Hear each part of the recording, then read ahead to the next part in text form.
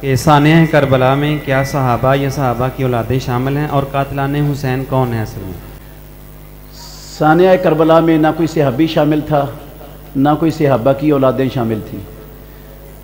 ثانیہ کربلا میں حضرت حسین رضی اللہ عنہ کو مظلوم ماننا شہید کرنے والے شیعہ تھے، شیعہ۔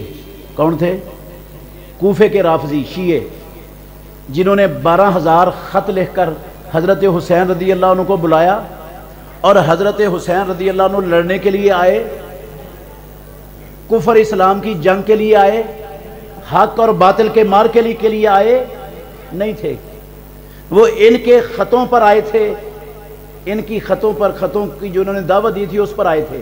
اور اس کی دلیل کہ وہ کفر اسلام کی جنگ کے لیے نہیں آئے تھے، حق باطل کے مار کے لیے کے لیے نہیں آ رہے تھے، وہاں پر کوفے میں۔ اس کی دلیل کیا ہے؟ جتنے صحابہ تھے اس وقت، توجہ کرنا ذرا، جتنے صحابہ تھے اس وقت، بڑے بڑے صحابہ تھے، کوئی ایک صحابی بھی ان کے ساتھ نہیں آیا۔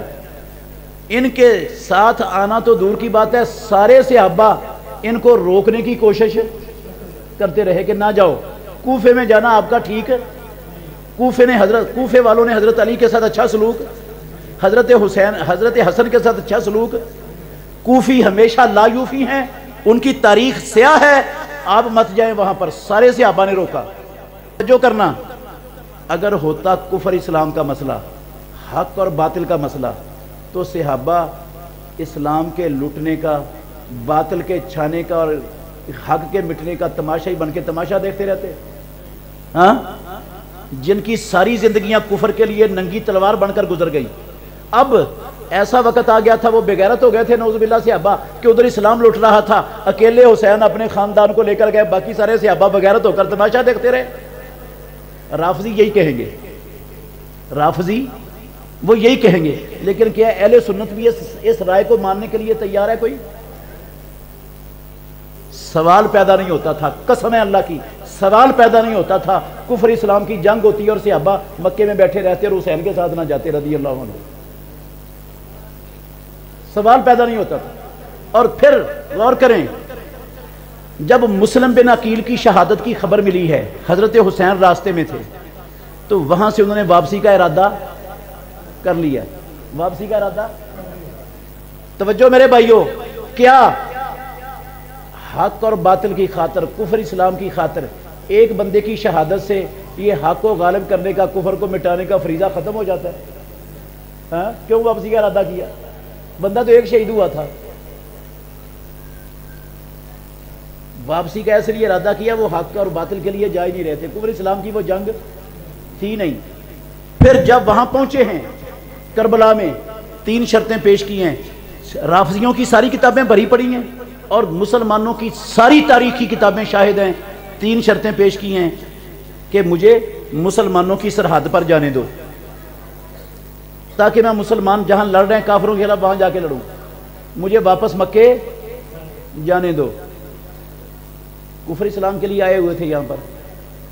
اگر کفر اسلام کے لیے آئے ہوتے تو کیوں کہتے مجھے مسلمانوں کی سرحد پر پہنچا دو یا واپس جانے دو؟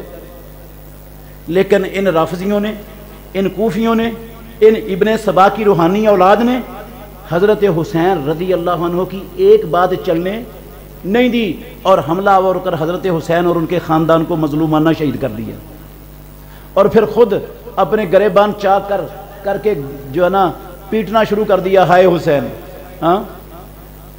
جو لوگ وہاں بچ گئے، جن میں امام حضرت زین العابدین، حضرت حسین کے لختے جگر، جن کو لوگ بیمار کربلا کے نام سے جانتے ہیں، سیدہ فاطمہ بنت علی، حضرت حسین کی ہمشیرہ، سیدہ جو ہے نا وہ زینب زینب بنت علی، ہم، وہ بھی ہمشیرہ فاطمہ حضرت حضرت حسین کی بیٹی، زین العابدین کی بہن، سب کی گوائیاں رافضیوں کی کتابوں میں لکھی ہوئی ہیں کہ تم ہی ہمارے قاتل ہو، تم ہی ہم، تم نے ہمارے باپ کو قتل کیا، تمہاری تلواریں ابھی بھی ہمارے باپ کے خون کے قطرے بہا رہی ہیں۔ اب ہم، جب پہنچے ہیں نا یہ کربلا میں، یہ بچے ہوئے لوگ، تو وہ کوفی رو رہے تھے۔ پیٹ رہے تھے۔ وہ کہتے کس پر پیٹتے ہو؟ کس پر روتے ہو؟ ہمارا قاتل کون ہے تمہارے سوا؟ قتل کس نے کیا ہمیں تمہارے سوا؟ تم نے اپنا پرانا کینا نکالنے کے لیے یہ ہمارے خون کی ہولی کھیلی ہے یہ گواہ ہیں اینی شاہدین۔ اور کتابیں کون سی ہیں؟ رافضیوں کی۔ اگر میں نہ دکھا سکوں جو سزا چور کی وہ لینے کے لیے۔ میرے پاس ایک کتاب ہے۔ العیون العبارہ فی مقتل سید شہداء میں یہ ساری شہادتوں کا ایک ایک لفظ ان کی کتاب سے جو ایران سے چھپی ہے، آپ کو دکھا سکتا ہوں کہ کون قاتل تھے۔ حضرت حسین رضی اللہ عنہ ہو گیا